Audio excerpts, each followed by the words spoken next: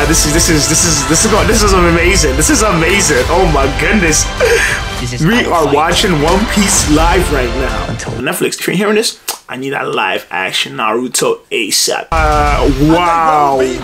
Wow. Let's get right into it. Let's not waste any more time. Boom. What's good, what's good? It's your boy Jeff and welcome back to the channel. Listen people, people, if you know me, you know me, you know how much I love my anime. If you're talking about Naruto, talking about Demon Slayer, right? Those are personally some of my top two favorites and if you don't live under a rock like most human beings, you probably heard of the show One Piece, literally also another goaded legendary anime. Netflix said, yo, let's make a live adaptation and it's about to drop literally in a few days or so. They just released the trailer for it and I just wanted to come sit here tapping with you guys and let's just basically enjoy like a whole bunch of childhood people's like memories but now we're watching it you know in live human action format so i'm excited because netflix you know they don't play around especially for a show as big as this like there are die-hard fans that have posters and everything you know so let's get right into it let's not waste any more time boom i'm gonna find the one piece it's called roger's treasure he hid it somewhere in the Grand Line. It's a myth. This is so cool. See the look on your face when we find it. Shout out Netflix for real, for real. Something that you want.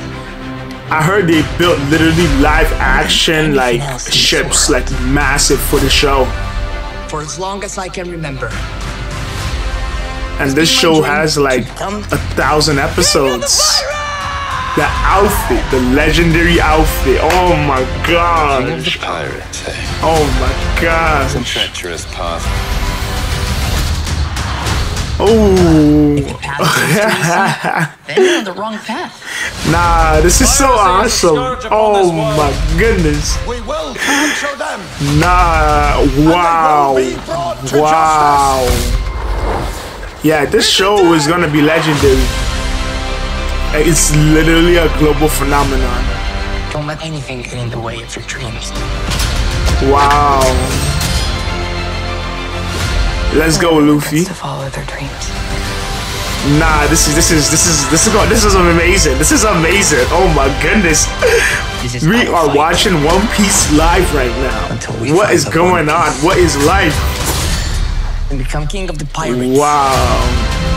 Don't tell me you actually believe in him he believes in himself. Nah.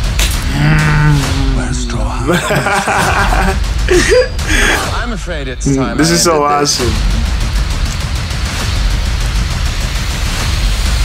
Yeah, this show is gonna be special. That went pretty well. Don't you think?